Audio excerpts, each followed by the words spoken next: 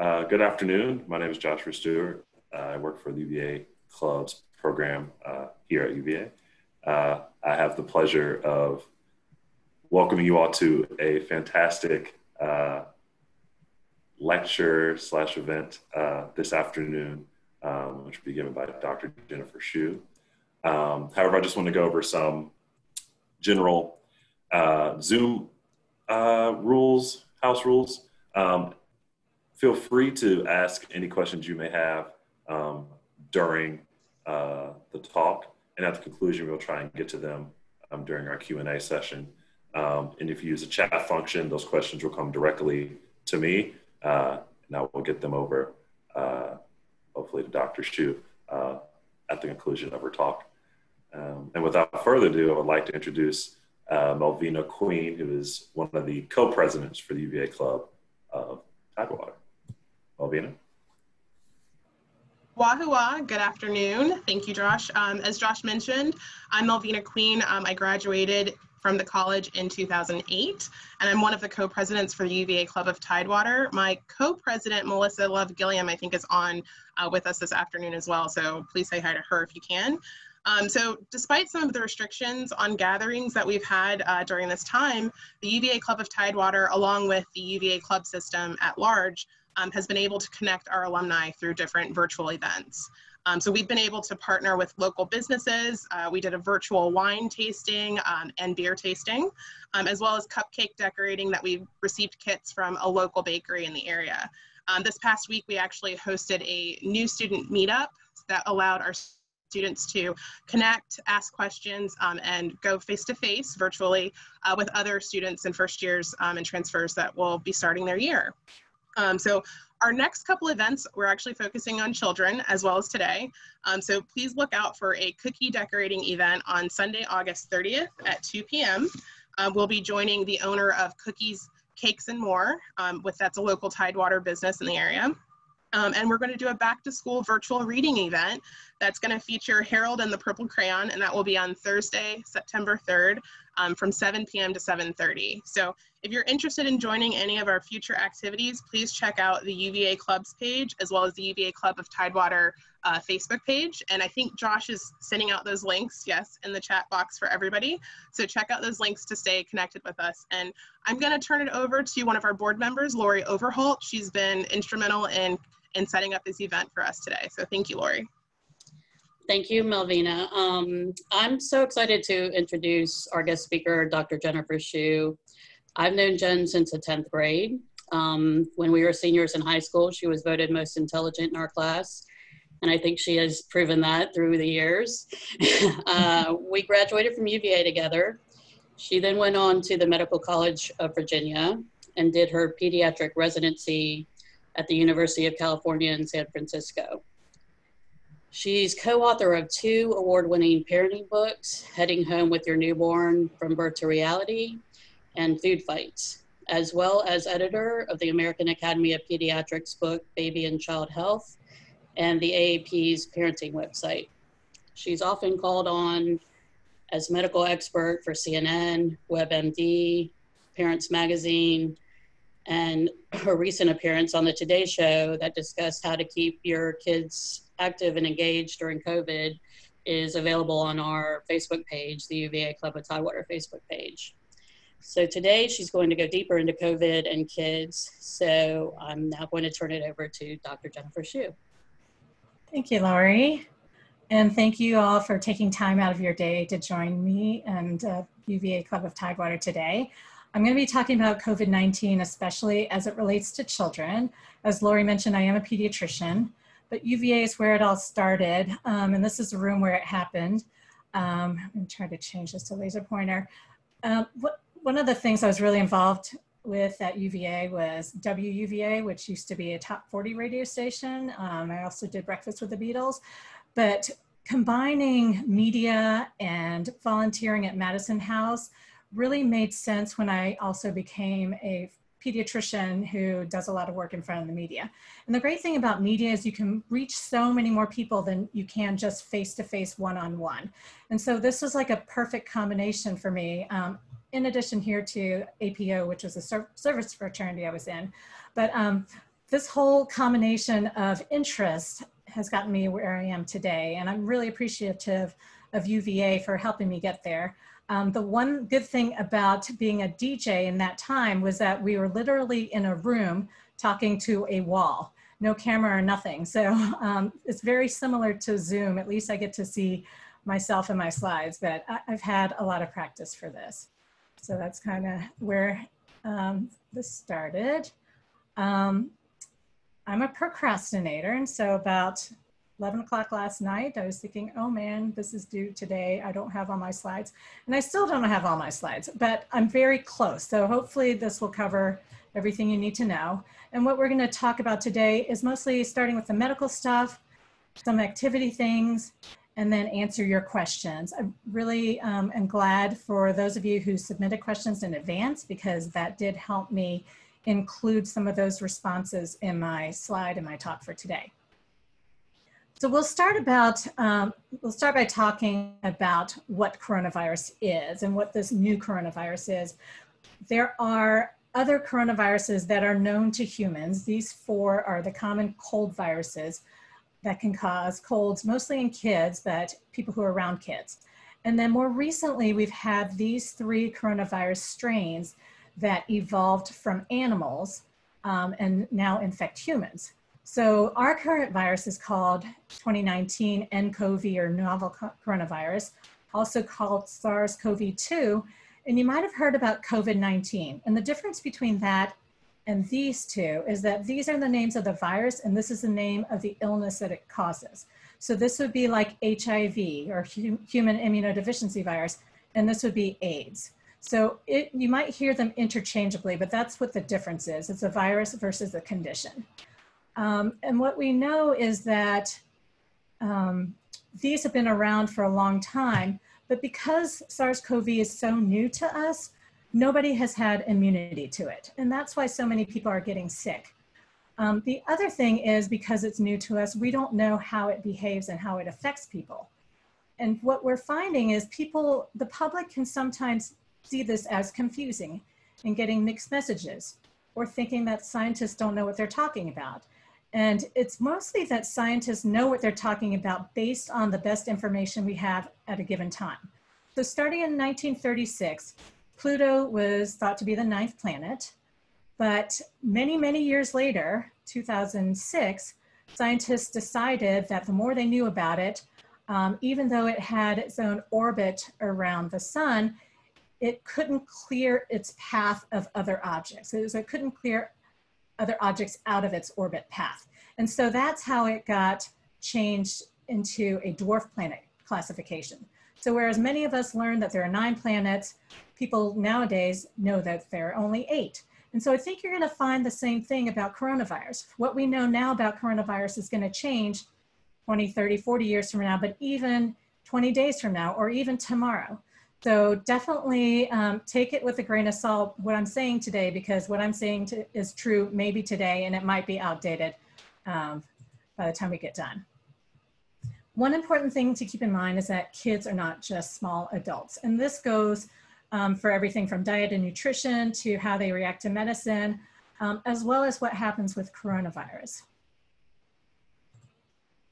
So here are the facts we know that kids make up 22% or about one fourth of the population of the United States, but only about 7.3% of the total number of COVID cases as of just a few weeks ago. We also know that since March, the number and rate of cases in kids has been increasing.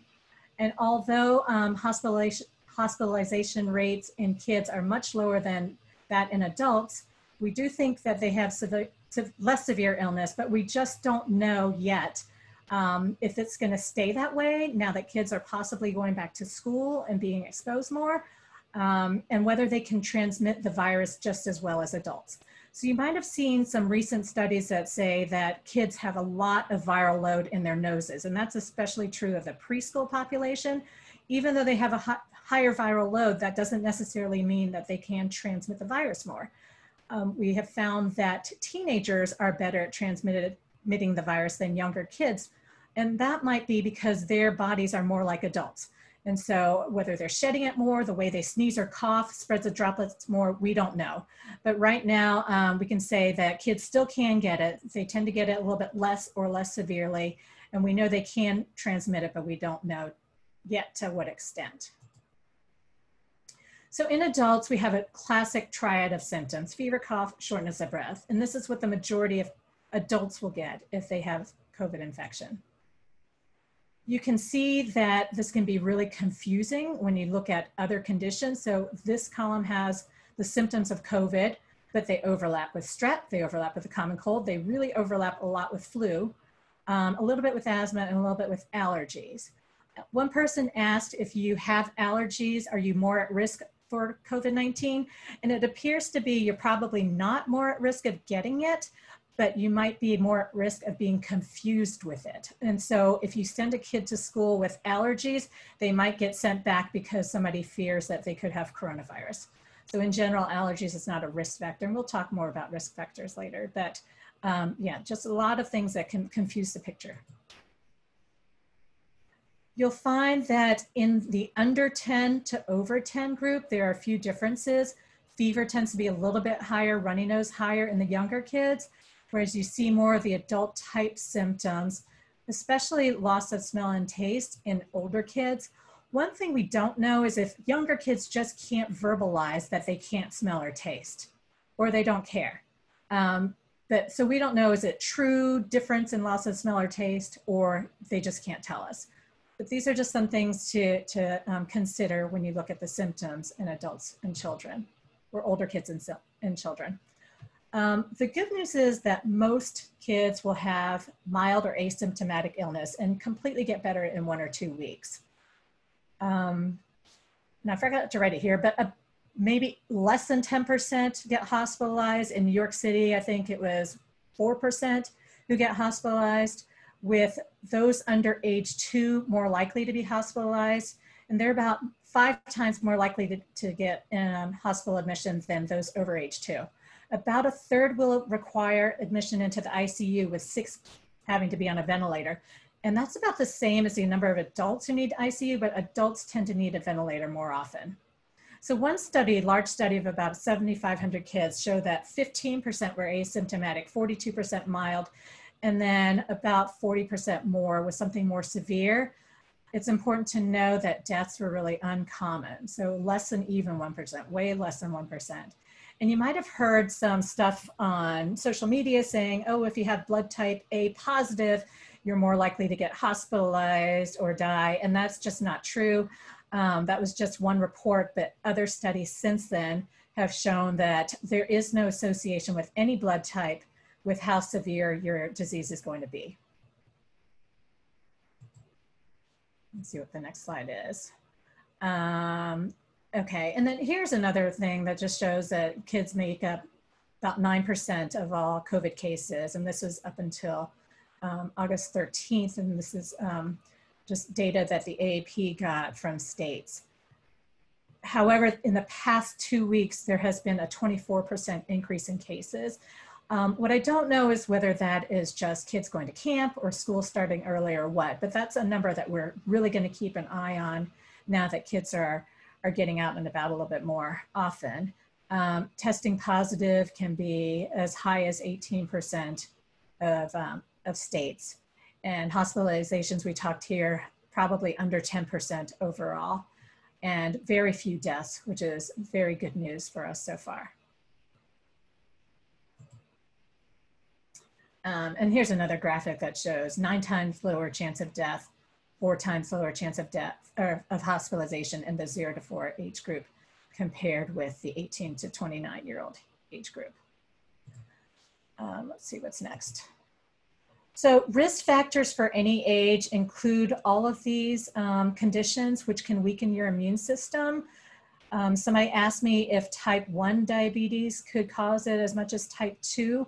Right now, we don't know yet. Um, we do know that for all age group, that being in certain ethnic or racial um, categories, uh, you could be at higher risk. And this is what surprised me, um, obesity. So a BMI of 30 or higher, which I actually don't think is that high. So a five foot 10 inch adult weighing more than 210 pounds would have a BMI of 30. And so that in and of itself can be a risk factor for having more severe disease. These are the conditions that scientists are looking at now, which could be related to um, worsened disease in, um, in individuals. And that would be moderate to severe asthma for this age group that we're talking about, pregnancy, um, I think something to keep in mind, and the type 1 diabetes. A lot of people ask me, well, is my child's asthma severe enough to be um, a risk factor? And just take a look at how asthma is defined with moderate or severe, meaning the symptoms have to occur daily, interfere with activities, occur at least one times a week, one time a week, and affect your lung function test. And that's something that a pediatrician or a pulmonologist can do. Um, I was going to talk a little bit about MISC. I think I don't have a slide on that. But um, MISC is something that we would kind of, all right, I lost my, I'll just talk about it here. MISC is a condition called multi-system inflammatory syndrome in children, and it's an inflammation of multiple different organ systems in the body. And the, what, what we normally see is problems like fever lasting for many days. You can have um, heart problems that can last for many weeks. Um, there can be bad GI issues, stomach issues such as abdominal pain, diarrhea, um, bad rashes, um, and kids can even go into shock.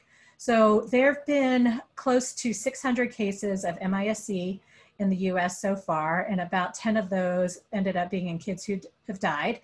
Most of the kids obviously have recovered, which is great. And we also know that it's super rare, so only less than 600 in the entire country that we know of so far. What's interesting about MISC is that it doesn't happen right at the time of a COVID 19 infection. It tends to happen about two to four weeks later. And so sometimes people don't know that they've had COVID until they get diagnosed with MISC. Um, age is important. The average age tends to be around eight years old.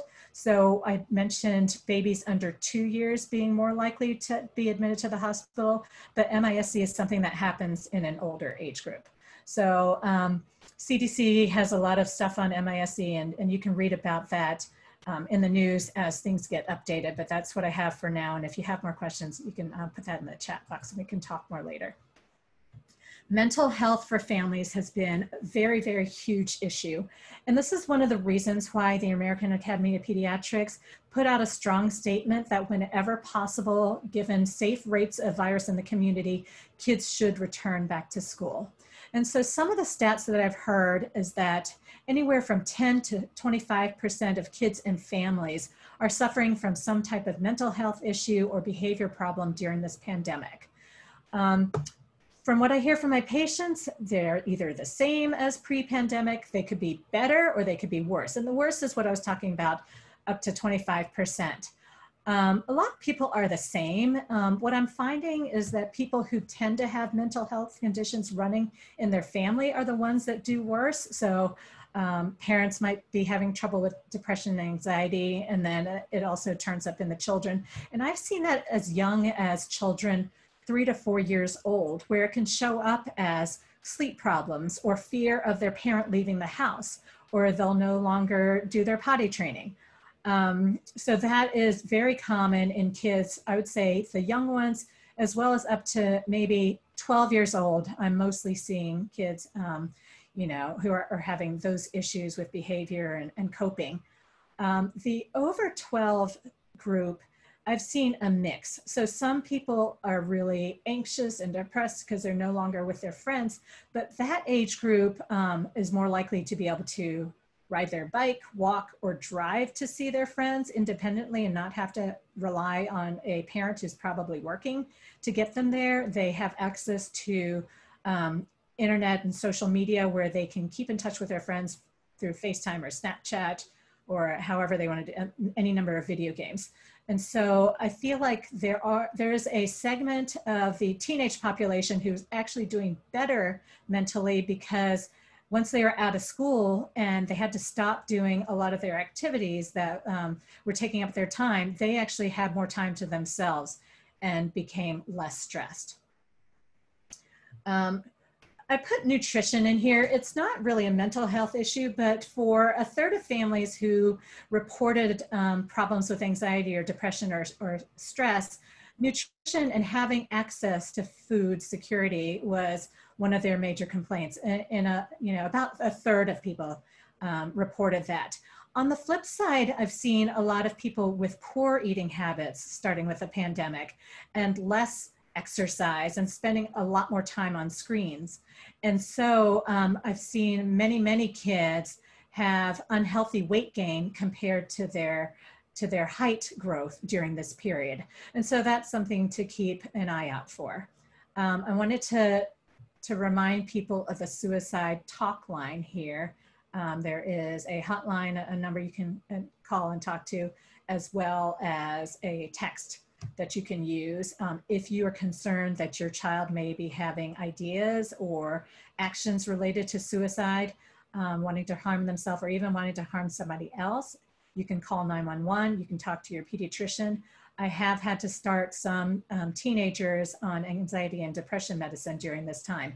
So um, definitely keep an eye out for that because there's no reason for kids to be suffering and, um, and hurting during this time, as difficult as it may be.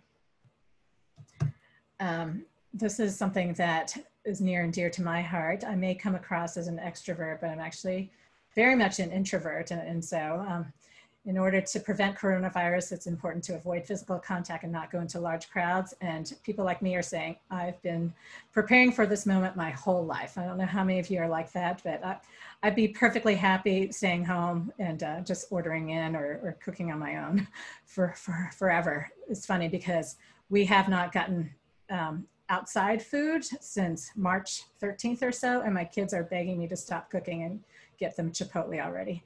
Um, but here I am, I'm, I'm perfectly, perfectly happy hunkering down. So one thing I like to do um, to mix things up a little bit is to talk a little bit about trivia and what better trivia in an election year to talk about presidents. Um, and, you know, especially since we were founded, UVA was founded by a very prominent president. Um, so who is on Mount Rushmore? Washington, Jefferson, Theodore Roosevelt, and Lincoln. And let's see, what's the next slide? Oh, that's it. So we have more trivia to follow, okay? So hopefully everyone got that right. Um, transmission, you'll find we talk about it's by droplets. So if somebody coughs or sneezes on you or on your hands or something that your hands touch and then get to your face, you can get the illness. And the biggest problem we see is adult to adult transmission. So um, adults at work, for example, having lunch together in a break room, and you know, in my office, that would be a big thing. Or adults at um, a family get together, giving it to each other is huge. We do see some um, parent to child or daycare provider to child or teacher to child transmission, but it's, it's much rarer to see this child to adult transmission. So that's what we know for right now. And, and like I said, things could change once kids get back into school in larger numbers. Um, testing, basically there's two types of testing, the kind that goes in your nose or in your mouth. That tells you if, you've if you have it now. And there's something called PCR, which is thought to be the most accurate. Antigen is pretty close, it's a lot faster. And so from a practical standpoint, you can get the antigen test within maybe 15 minutes or so. So at our office, we do drive-through antigen and um, we can call our patients back within a matter of a couple hours with the results. PCR is sent to different labs usually, and that can take anywhere, lately in my area, anywhere from one to 14 days get, to get the result. And by 14 days or even by five or six days, if a person hasn't heard the results, they figure they must be okay. They go out and about because they're starting to feel better, but in fact, they're actually still contagious and they get other people sick. And so that's why it's really important to stay quarantined until you get the results back and even possibly longer. The blood test is an antibody test that shows whether you most likely have had coronavirus or not. The problem with this antibody test is that the antibodies may not stay in your bloodstream for very long. We don't know whether it means that if you have the antibody, are you actually immune? And then remember when I talked about those four common cold virus coronaviruses in one of the first slides? Sometimes these antibody tests can, um, can interact or they can um, cross-react with those coronaviruses. And so you, it might show up that you have the antibodies to COVID-19 when it's actually an antibody to one of those four common cold viruses. And so basically the antibody test doesn't tell us much right now. It is something that people might find interesting out of curiosity. Um, and it's something good to know from a population basis so that if, for example, only 5% of people have antibodies, there's probably not any kind of large scale Im immunity in the community. But if we're starting to see you know 50 70 80% people with antibodies then we might think that there's some type of herd immunity in that population. So um, something to keep an eye on and hopefully we'll have more information on that in the future. Prevention you hear about this all the time wear a mask social distance wash your hands don't touch your face and choose activities wisely. And um, that to me means like, if you're going to choose a sport, you probably want to choose something like golf, which is spaced apart, versus maybe wrestling when you're kind of on top of somebody and really in their face. But these are the kinds of things to keep in mind. Um, the other thing I missed on this slide, but I think it's somewhere else, is that duration of time of exposure is important. So if you're around somebody for less than 10 or 15 minutes, that's less of a risk than being around, you know, in a choir for like an hour in a closed space. So, and then here are, you can find any number of risk stratification guidelines online. I really like this one. It's from IDSA, which is the Infectious Disease Society of America.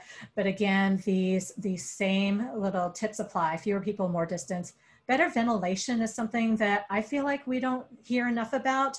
So in your own home, you could get a HEPA filter and um, I think it's called HEPA 13, um, is the filtration that gets to the micron size, so 0.3 microns, which is the size of the COVID-19 or coronavirus, novel coronavirus. So that's something that you might wanna look at.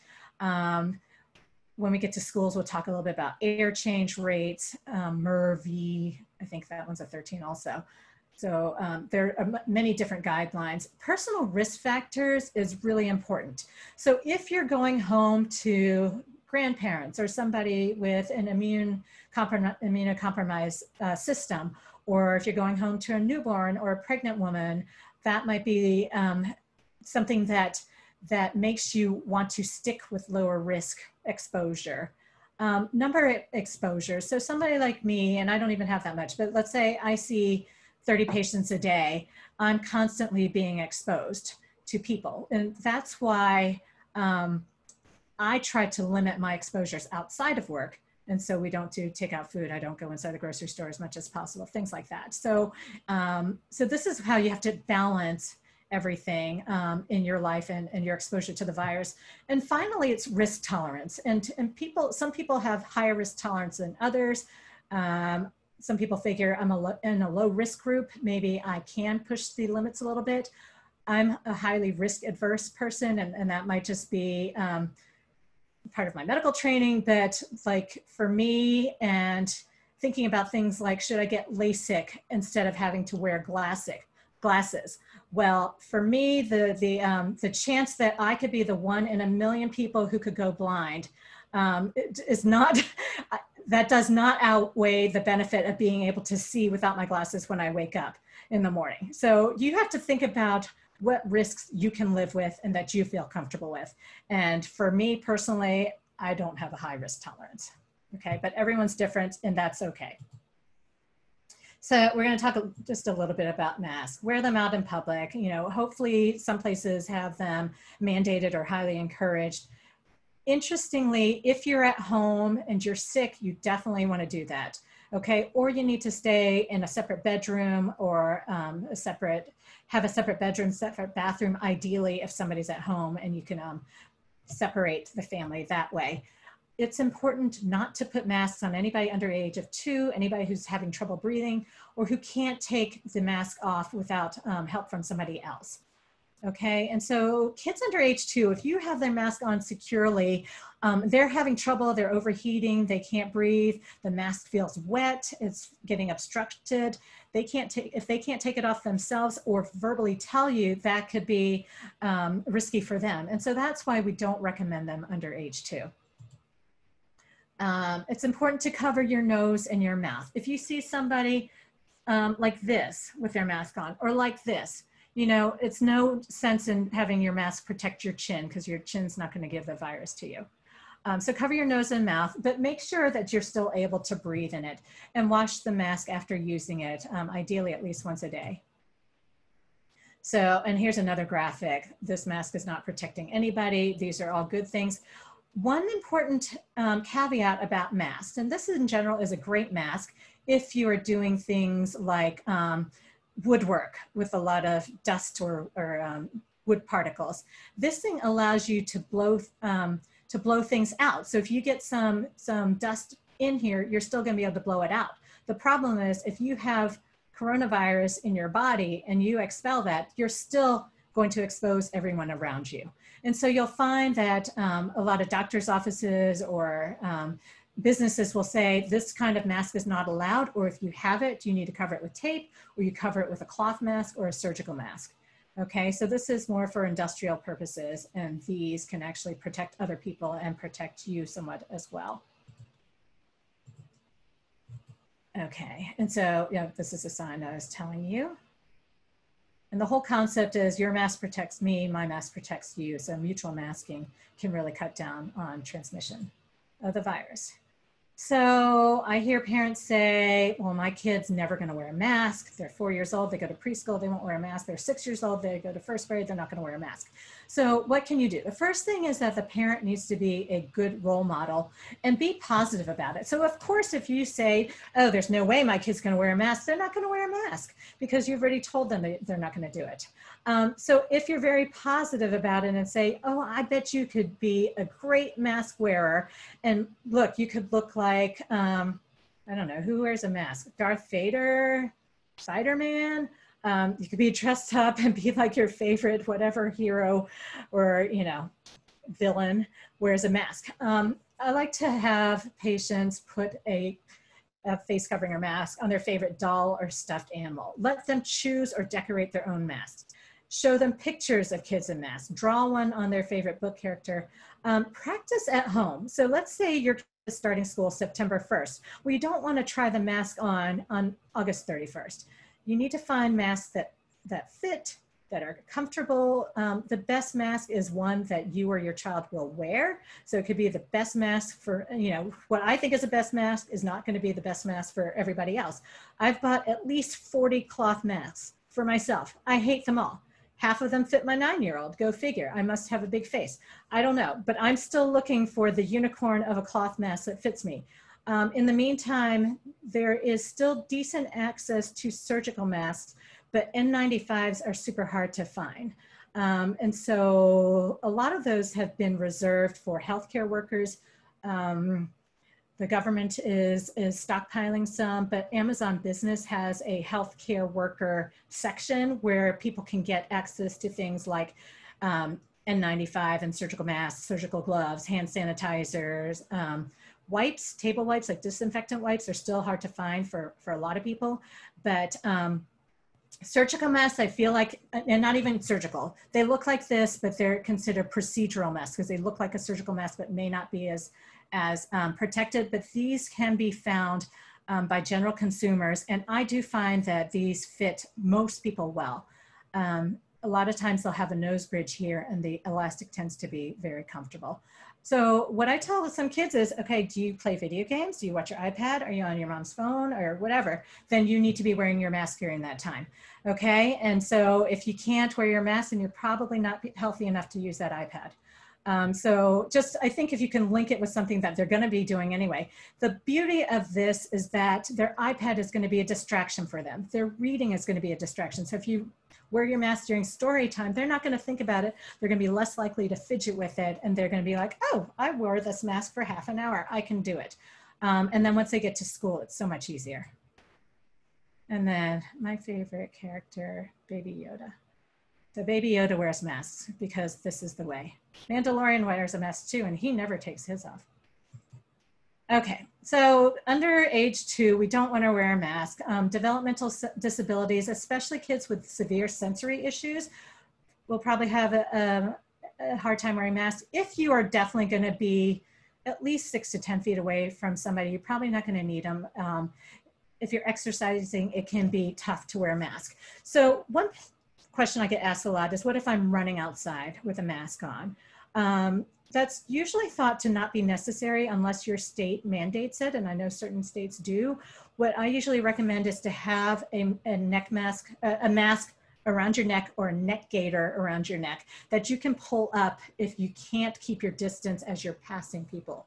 Okay, so if people are coming the other way, you're passing them, or if you're so fast that you get to pass the slower people um, who are in front of you, then you just pull that, that neck gaiter or mask up. Face shields can be good in conjunction with a mask.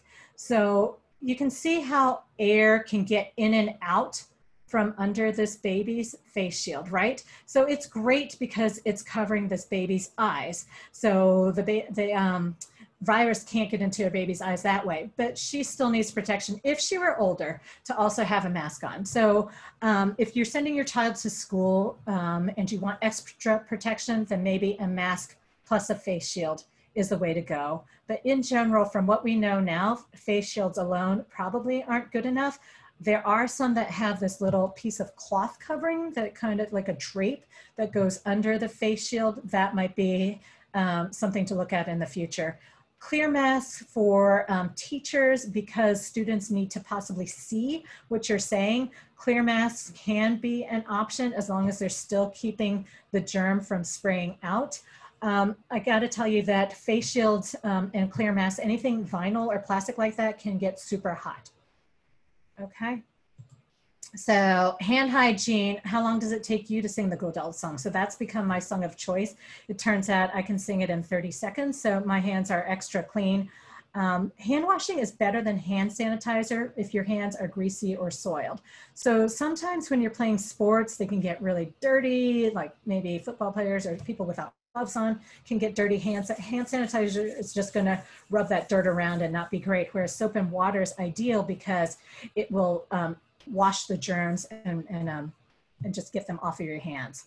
Um, for kids, you want to keep hand sanitizer out of the reach because it's 60% alcohol or higher. And um, we have gotten reports of ingestions of hand sanitizer and poison control getting called and having to go to the ER. So keep it out of your, your child's reach. Um, I usually limit it to two years and up and make sure uh, they dry their hands really well afterwards so that um, all that alcohol can evaporate. Okay, so which state has produced the most presidents? So that's question one. How many presidents and who are those presidents? Okay, so let's see, the state with the most presidents is Virginia, and Virginia has had eight presidents. The next closest state is Ohio with seven. And I can never remember this list, so I'm just gonna show it to you because eight is too many to remember. Um, so Washington, Jefferson, Madison, Monroe, William Henry Harrison, John Tyler, Zachary Taylor, Woodrow Wilson. So for extra credit, who's the only president from Georgia? Jimmy Carter from Plains. And there are actually 29 states with zero presidents. So they need to, to get moving on that, all right, to be able to catch up to Virginia. So eight presidents, many of whom we know. All right, shifting gears over to schools. So to keep in mind, virtual or not going to, you know, virtual only is the lowest risk, of course having small groups of kids who don't mix is the medium risk. Um, and they're not sharing any like supplies or anything like that. And the highest risk is going back to the old normal, which is crowded classes, everyone is passing each other in the, in the hallways at the same time, et cetera, et cetera. So things to consider would be how's your kid going to school? Are the bus, buses crowded? Is the classroom crowded? What are they doing about PE? Because that heavy breathing can transmit virus more, as can singing or wind instruments. Um, lunch, Are they spacing at lunch? Are they spacing in the hallways? Are they all going to the bathroom at the same time? Um, it's recommended that kids bring their own water and have their you know own water bottle and maybe not use water fountains because that's a shared object. We talked about ventilation needing a little bit more um, attention and there is a, an entity called ASHRAE, A-S-H-R-A-E, that has standards for all kinds of um, public buildings, including um, schools and colleges, and how often are they cleaning. Um, so back to school. I don't think that term means what we think it means because it could be any number of these things. Um, really keep in mind that whatever you choose now at the beginning of the school year may not be the same as how school looks at the end of the school year or even two weeks from now. So I'm in Georgia and many of our counties, not many, but some of our counties outside of Atlanta did go to school in person. Mask, masking was optional and they closed within a, a matter of two weeks. So there are some high schools that have already had to close down and go virtual um, for either a few weeks or an unspecified amount of time. UNC Chapel Hill just yesterday decided to close and go all virtual. Um, so you're going to hear a lot more stories and um, uh, like that. So some schools are going to close down to break that cycle, to do some cleaning. It's important to find out what your school's um, policy is for isolating kids who are found to be infected, quarantining anybody who's been um, in six feet for longer than 15 minutes. And that's usually considered even a classroom because they're in that space for so long with each other. So let's say a teacher tests positive, does the entire class have to quarantine and stay home for 14 days? So that's something that you might hear about. Will the school rec recommend testing before you come back? And with so many places having poor access to timely tests, that tends to not be the best option. So if you have easy access, then yes, testing can be helpful in getting kids back into school sooner. But if not, then you still follow the 14 days of quarantine if you've been exposed or staying home for 10 days if you're infected. Um, so this is another fun um, risk graphic and things to consider. So low risk up here, medium risk. So medium risk, being in a carpool with non-household members is higher risk than driving your, you know, in your own family, of course. Um, but then the next highest risk would be a school bus or public transportation. So these are all kinds of things to consider uh, for school, back to school. The CDC has a sample school checklist of symptoms. Like these are things where you really don't want to be um, sending your kid to school or having your child checked out before you send to school if they have any of these symptoms. Or again, have things checked out if your child has had close contact with somebody who has COVID. If you live in a high community transmission area, that's me. If you've traveled in a high you know area, that's me too. So like the fact that Georgia's open, we're already kind of ignoring some of this in some of the, the school districts. And then that, this is where they're closing down schools in Georgia if they've had close contact with. So when somebody's testing positive, they are shutting things down.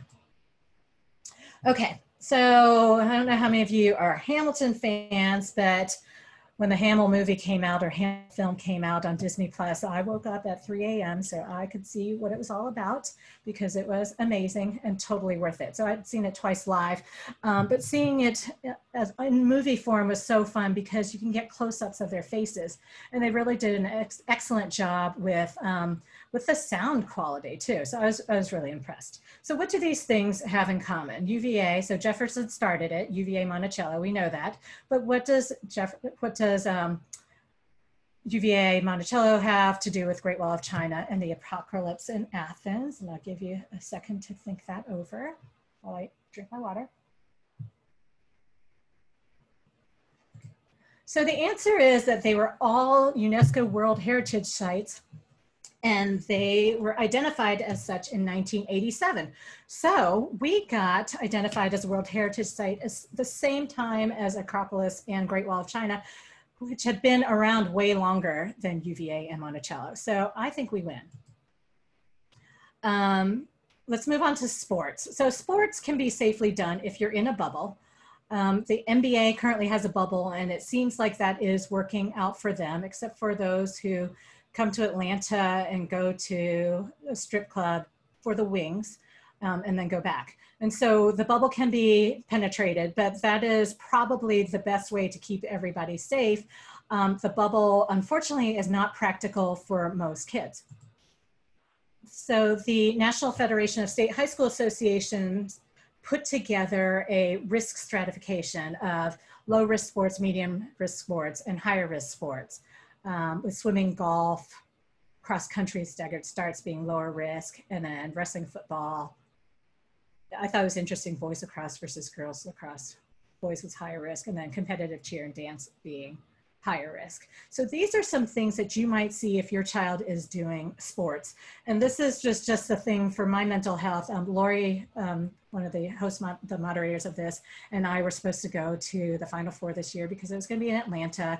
And what better way to save money when you don't have to fly or get a hotel than going to the Final Four when it's in your own city and then darn pandemic, darn coronavirus messed things up. So um, something maybe to look forward to. Hopefully we can make it to Final Four again in the future and win. CDC put out this great thing. So these are the lower risk activities you can do within any type of sport. So at home versus a team, com competing within your team, and then kind of going um, to other area, other teams in your area to the full on travel, you go to different states or regions. So um, both of my kids are doing this right now. And I'm going to be a little bit nervous when we move on to that. Um, but those are things to keep in mind. Let's see what's next. When they're practicing, try to keep distance, especially even for spectators, if you're allowed to have fans at the sporting events. If possible, wear a mask. So um, if there's a comfortable mask you can wear, Adidas and Under Armour have some specifically for working out. Galen Rupp wore a mask because the pollen count was so high and that did not affect his performance. Um, so that might be a possibility. Even if you can't wear a mask during these sports, it's important to have a mask on hand as you're walking to and from the field. So uh, it's good to either have a mask around or we talked about having a neck gaiter around where you can just pull it up as you're walking back and forth and then try not to share equipment. So everyone should have their own bat and ball and water bottle, etc. During this time, about half of patients um, canceled or delayed their checkups, as well as almost 10% delaying vaccinations. And this is really important because we know that if we stop vaccines in kids, then other illnesses will go up. And we don't want to have other illnesses in the time of COVID, especially going into cold and flu season. So one of the worst things that could happen would be kids are, you know, in person going to school. If they're not vaccinated for things like measles or flu, they could get sick with those. And then if you get COVID on top of that, that could make their um, illness more severe. So we've talked about kids in general having less severe illness, but if you have something else that could have been possibly prevented on top of it, it could be more severe.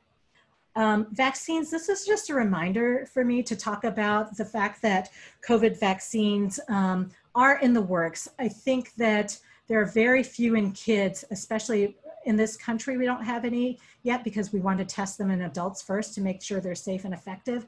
I believe there are some in other countries, um, but this is another thing to keep your eye out on for the future because if we're not getting enough community immunity just from natural infections, vaccines may be something to help protect people. If you're doing a virtual visit um, with your pediatrician, which I'm doing maybe two thirds in-person checkups now, and then the rest may be virtual visits with a very small handful of sick patients in my office. Try to have your child's vital signs um, available pharmacy information and wet medicines and check out your equipment beforehand.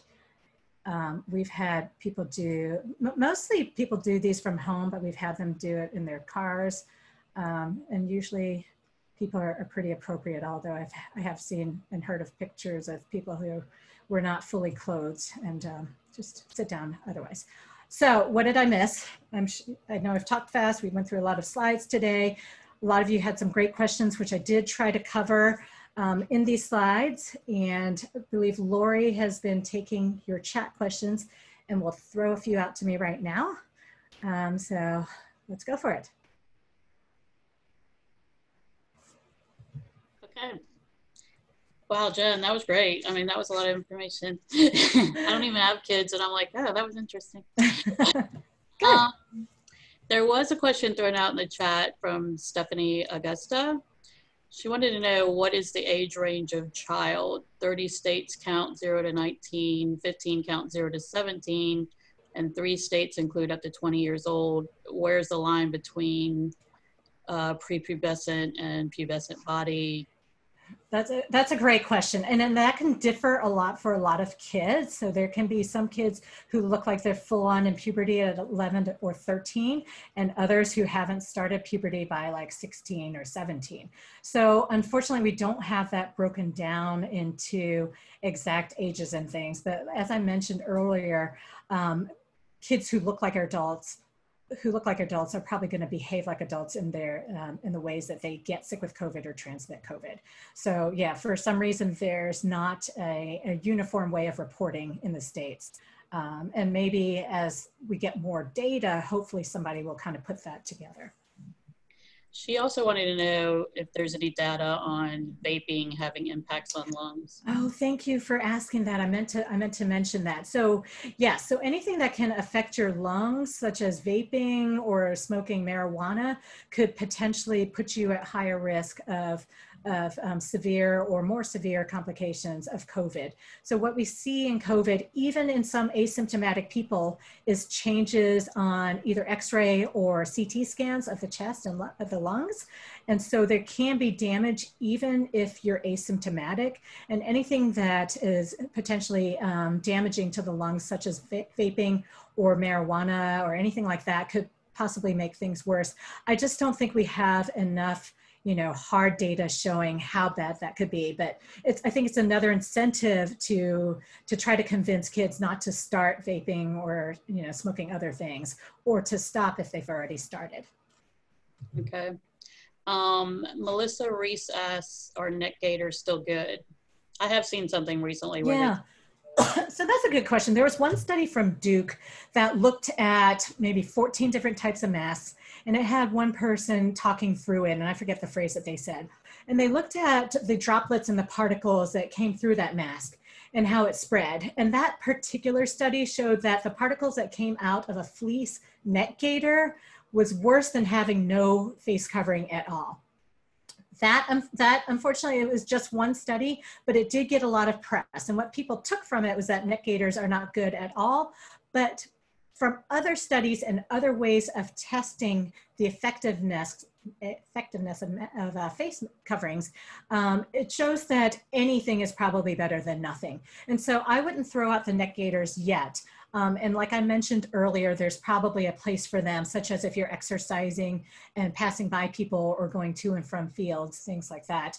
And if it's the only thing that your child will wear, um, that might be the, the way to kind of train them to go from a neck gaiter to a, a, mask that might be more protective. So I think the jury's still out, but I don't think it's as bad as that one study showed. Okay. Um, Katie Sexton, Sexton asks, why are you avoiding takeout food and should we all be? Oh, no, no, no. So I'm avoiding takeout food because I'm crazy and that's why I don't get LASIK for my eyes. Um, and I also wipe down all my groceries, even though everyone says you don't have to. So I, um, it's, I'm kind of like an all or nothing person. So before pandemic, I only did take out food. I only ate out. I never cooked. And so when the pandemic started, I was paranoid. And because I knew I was going to get exposed at my work, um, I shut everything else down because I wanted to be able to control what I could because if I were to get sick, then I can say I've done everything possible in my power to avoid getting coronavirus or spreading it to my family. So no, that is just my own idiosyncrasy and my paranoia, and I don't recommend that to anybody. And I, I think I'm gonna have to start soon, but just by the fact that, like I said, my, my kids don't like my cooking. Okay, but from a, from a medical standpoint, I think that's overkill, as is wiping your, your um, wiping groceries, groceries like I do. But you do you, I'm doing me, and I'm crazy, okay? All right. Um, Paul Hutchins um, is asking, is there any data on infection rates on minority kids versus majority? So um, one of the things that I think I forgot to mention was that of the MISC kids, so the kids without inflammatory syndrome, 73% of them were either Hispanic or Black. And when you look across all the age groups and all the complications, they do come from um, underrepresented minorities. So um, some of that has to do with, you know, socioeconomic factors and uh, the type of living situations they may be in, if they are in extended family situations, for example, but also if they are working in, um, if they have essential work type jobs where they have to leave the house and get exposed. And so, yes, we do see underrepresented minorities um, getting more sick, and there are many different reasons why. And I didn't draw on Hamilton's thing, so I don't know how that yellow got there. um, there was one. Uh, one quick thing.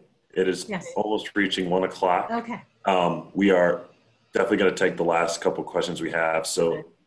we will go over a couple minutes late. We hope that you stay with us um, as Jen answers these questions.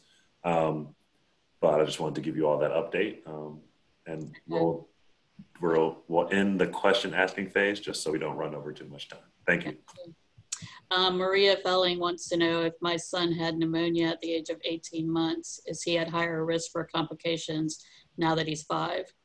So that's a great question. I do hear that a lot also. In general, if your son has been fine since then and doesn't have any issues with his breathing at baseline, he probably is not at any higher risk. Again, um, that could change as we learn more, but uh, right now I would say no, he's not at high risk. Okay. But also, it's a good idea to ask your pediatrician who knows your son and, and other things about your son that might kind of um, give you more information. But just in general, a, a, a, somebody who had it many years ago and is fine now, I would not expect it to be at higher risk. Okay, I'll do this um, one last question. It's kind of a two two question, but uh, Brandy Mock wants to know for kids who return to school, what is good practice when they get home? Should they leave their shoes outside? shower immediately. And then others are asking, what can we do to protect our kids getting ready to move into dorms? Okay, great questions. And, and I have kids in both of those categories. And so, um, so it depends on what the, the rate of transmission of virus is in your area. So if you have very low risk, your child probably doesn't need to do much besides wash their hands. Um, I, I just have my child who's been going to school since yesterday um, wash and sanitize or use a baby wipe and sanitize her hands in the car. I think yesterday we went to the pool afterwards and then she took a, a shower after that. So, and, and we tend to take off our shoes um, as we get into the house anyway. So I think um, looking at the transmission in your area, you could do very little or you could do a lot. So for me coming from work, and I know um, when somebody who's a nurse asked about this in the questions ahead of time, um, I change into different clothes at work. Um, and then I throw everything into the laundry as soon as I get home and hop straight into the shower before I do anything. So that would be the extreme. And then for kids moving into dorms, um, it really depends again on what's going on at that area as well as the college. And um, so I know where my son's going to be going to school um, next week, they are only having kids in single rooms. They are still sharing bathrooms. They're doing takeout mostly for the meal plan. Um, dining hall is going to be um, spread out a little bit more. They're encouraging kids to eat outside or back in their dorm rooms and things like that. So lots of hand washing, lots of hand sanitizing, masks. And in dorms, I would try to avoid large groups you know, just try to, to stick with a few people in your little quarantine pod and, and avoid crowds. Okay. Well, it is after one o'clock and we want to respect your time and it, and also everybody else's, but there were more questions. But thank you. You'll so just have to have me back for part That's two. right. We love that. um, thank you so much for doing that. That that was really very helpful, and I thoroughly enjoyed it, and I'm sure everyone on the call did as well. So thank you, Jennifer. Thank you guys for having me. Thank you all for joining us, and have a great rest of your day. Wahoo wah. Wahoo wah.